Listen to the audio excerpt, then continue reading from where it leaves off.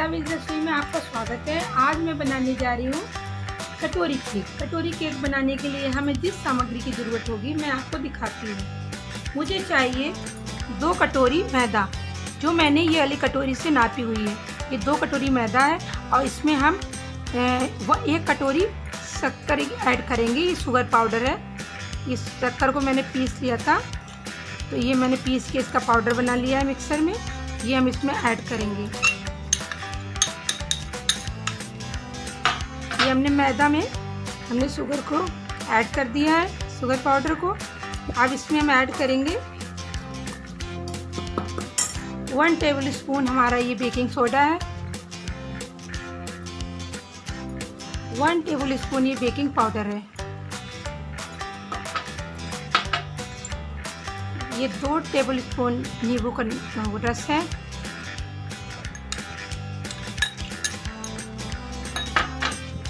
ये हमारी आधी कटोरी घी है। इसको हमने मिक्स कर लिया है। इसका हमें एक बैटर तैयार करना है। स्मूथ बैटर बनाना है। इसमें अब हम दूध ऐड करेंगे। थोड़ा थोड़ा करके।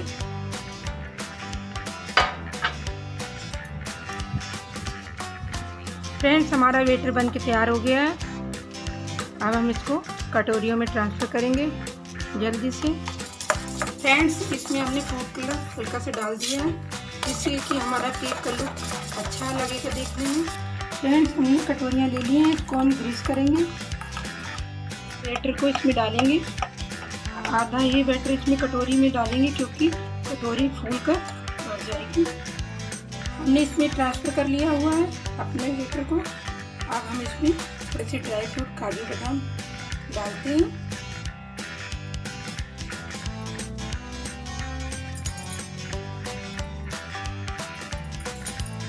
फ्रेंड्स, इसको हमने तवे पर रख दिया है। अब इसको हम पैंतीस मिनट के लिए कुछ स्लो गैस कर देंगे। गैस का फ्लेम जो है बिल्कुल स्लो कर देंगे और 35 मिनट के लिए इसको हम ढक कर पकाएँगे। सॉफ्ट बना हुआ है, आप देख सकते हैं। देखिए फ्रेंड्स कितना स्पंजी बना हुआ है।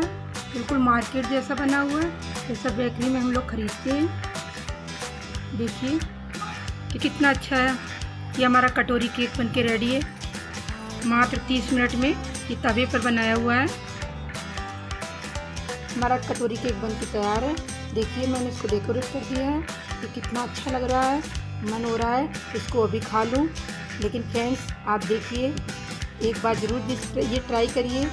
बहुत ही अच्छा लगता है केक खाने में। प्लीज़ प्लीज़ प्लीज़, अगर आपको मेरा ये वीडियो पसंद आया है तो लाइक करें, शेयर करें, कमेंट करें। Bye bye.